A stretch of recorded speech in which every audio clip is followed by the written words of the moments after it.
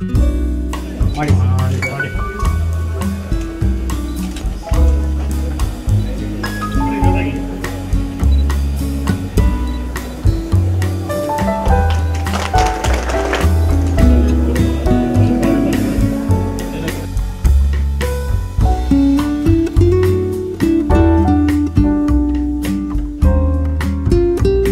ಕೋಲಾರ ಸರ್ಕಾರಿ ಪದವಿ ಪೂರ್ವ ಕಾಲೇಜಿನ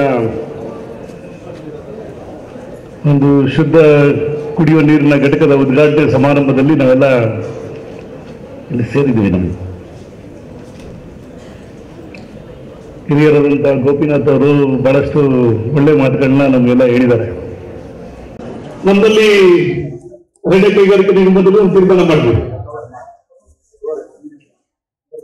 ನಾವು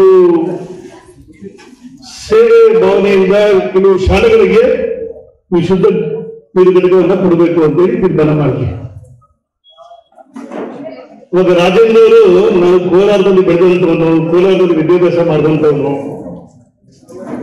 ಹಾಗಾಗಿ ನಮ್ಮ ಕೋಲಾರದ ಶಾಲೆಗೆ ಕಾಲೇಜಿಗೆ ಕೊಡಬೇಕು ಅಂತೇಳಿ ಮೊದಲು ಅವ್ರು ಕನ್ಫ್ಯೂಸ್ ಇತ್ತು ನಾನು ಮಹಿಳಾ ಕಾಲೇಜಿಗೆ ಕೊಡುವ ಇಲ್ಲ ಪುರುಷರ ಕಾಲೇಜಿಗೆ ಕೊಡೋದು ಅಂತ.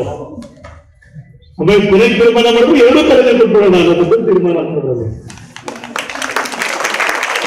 ಹಾಗಾಗಿ ನಿಮಗೆ ಎರಡೂ ಕಾಲೇಜಿಗೆ ಇವತ್ತು ಶುದ್ಧ ನೀರಿನ ಘಟಕ ಬಂದಿದೆ ಈಗ. ಅವಶ್ಯಕತೆ ಇರುವಂಥದ್ದು. ಕೋಲಾರದಲ್ಲಿ ಒಂದು ಕಾಲದಲ್ಲಿ ಕುಡಿಯುವ ನೀರಿನ ಸಮಸ್ಯೆ ಎಷ್ಟು ಮಟ್ಟಿಗೆ ಇತ್ತು ಅಂತ ಇಡೀ ರಾಜ್ಯದ ಜನತೆ ಗೊತ್ತು. ಎಲ್ಲಿ ಬೋರ್ ನೋಡಿದ್ರು ನಿಮ್ಗೆ ನೀರು ಬರ್ತಿರ್ಲಿಲ್ಲ. ಆ ಥರದ ಪರಿಸ್ಥಿತಿ ಇತ್ತು. ವ್ಯವಸಾಯಕ್ಕೆ ಕುಡಿಯೋಕ್ಕೂ ಕುಡಿಯೋದಕ್ಕೂ ಬಹಳ ಕಷ್ಟದ ಪರಿಸ್ಥಿತಿ ಇದ್ದಂಥದ್ದು ಇವತ್ತು ಕೆ ಸಿ ವ್ಯಾಲಿ ಬಂದ ಮೇಲೆ ಜನಗಳು ಇವತ್ತು ನಿತ್ಯ ಸ್ವಲ್ಪ ಬಡತನದಲ್ಲಾಗಿದೆ ರೈತರು ಒಂದು ಸಮಾಧಾನವಾಗಿ ಇವತ್ತು ವ್ಯವಸಾಯ ಮಾಡಲಿಕ್ಕೆ ವ್ಯವಸಾಯ ದಿಕ್ಕಿಗೆ ಹೋಗುವಂತ ಆಗ್ತಾ ಇದೆ ಕುಡಿಯೋ ನೀರಿನ ಸಮಸ್ಯೆ ಇದ್ದಂತ ಕಡೆ ಎಲ್ಲ ಇವತ್ತು ಅಂತರ್ಜಲ ಜಾಸ್ತಿ ಆಗಿರೋದ್ರಿಂದ ಬೋರ್ವೆಲ್ಗಳನ್ನು ನೀರು ಬರುತ್ತಿರೋದು ಆಗಿದೆ ಹಾಗಾಗಿ ಕೋಲಾರದ ಭಾಗದ ಜನಗಳಿಗೆ ಇವತ್ತು ಒಂದು ನೆಮ್ಮದಿಯ ಒಂದು ಜೀವನ ನಡೆಸಲಿಕ್ಕೆ ಏನೆಲ್ಲ ಆಗ್ಬೇಕಾಗಿದೆ ಅವಕಾಶ ಸಿಕ್ಕಿರುವಂತದ್ದಾಗಿದೆ ಕಾಲೇಜುಗಳಲ್ಲಿ ಯಾಕೆ ನಾವು ಮಾಡಬೇಕು ಘಟಕವನ್ನ ಅಂತ ಅಂದ್ರೆ ವಿದ್ಯಾರ್ಥಿಗಳು ಈ ದಶೆಯಲ್ಲಿ ಇದ್ದಂಥ ಸಂದರ್ಭದಲ್ಲಿ ಓಡುವಂಥ ಸಂದರ್ಭದಲ್ಲಿ ಆರೋಗ್ಯವನ್ನು ಕಾಪಾಡಿಕೊಂಡು ಅವರು ವಿದ್ಯಾಭ್ಯಾಸವನ್ನು ಚೆನ್ನಾಗಿ ಮಾಡಬೇಕು ನಮ್ಮ ಉದ್ದೇಶ ಇರಬಹುದು ನಮ್ಮ ನಿಗಮದ ಉದ್ದೇಶ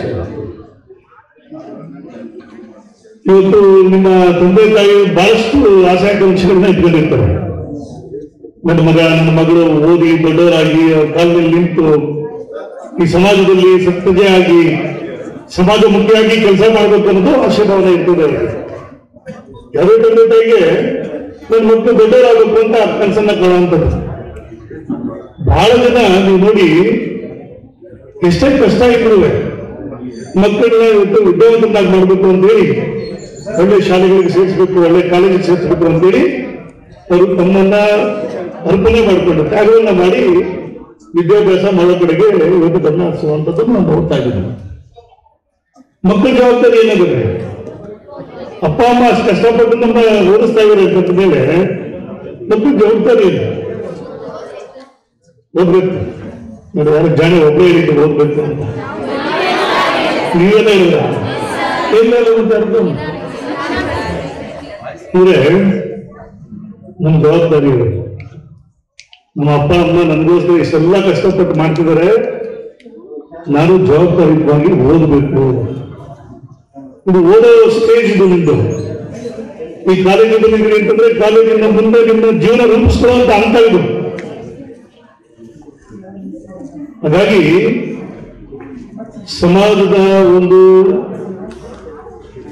ವ್ಯವಸ್ಥೆ ಒಳಗಡೆ ನಿಮಗೆ ಒಂದು ಸ್ಥಾನಮಾನ ಸಿಗ್ಬೇಕು ಅಂತಂದ್ರೆ, ನೀವು ಚೆನ್ನಾಗಿ ಓದಿದ್ರೆ, ಬುದ್ಧಿವಂತರಾಗಿದ್ರೆ, ನೀವು ಒಂದು ಸ್ಥಾನಮಾನದಲ್ಲಿದ್ರೆ ಮಾತ್ರ ನಿಮ್ಮನ್ನ ಗುರುತು ಮಾಡ್ತಾರೆ.